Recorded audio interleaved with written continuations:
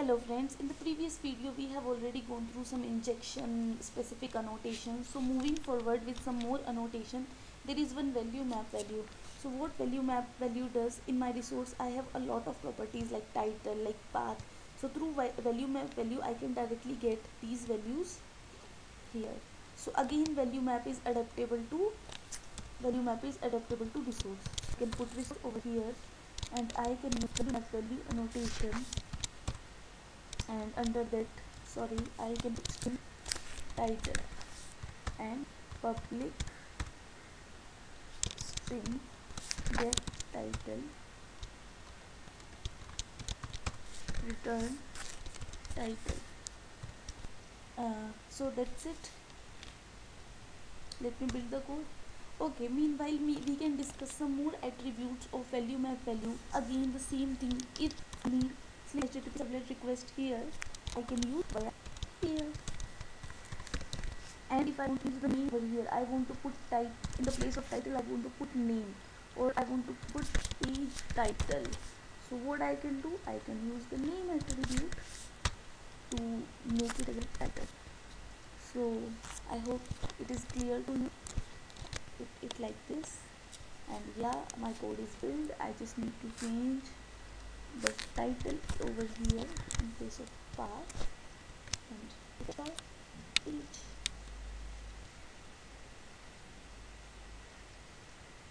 yeah SDEM test whatever I write here I can put here. So this is how value map value works. So my next annotation is resource path and i'm very very big fan of this annotation. So how this work? So again it is adaptable to resource and what i can do i can use resource path resource path if i want to get some path as a resource so if i want to get this path as a resource i need to find some property of it. What I can do I can just add it in path and social resource I will I can put one more thing I can do with resource path is you can see that in my component I have a path here. In the component there is always a path from the CRX selected. So I want this path to be a resource let's suppose. So what I can do I can use name is equal to path. And here we can put resource path.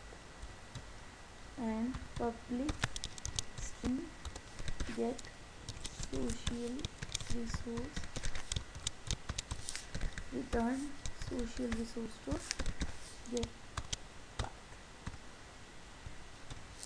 public string get path return path sorry put resource over here.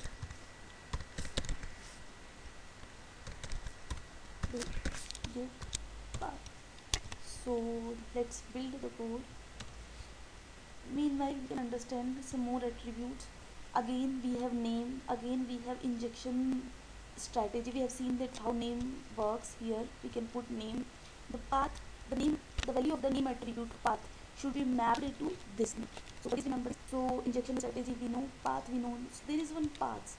So it is it works exactly same like path. We can put multiple you know paths here and we can just get as a resource array so yeah my code is built and I need to make some changes over here. I need to put path here. I need to put social resource here.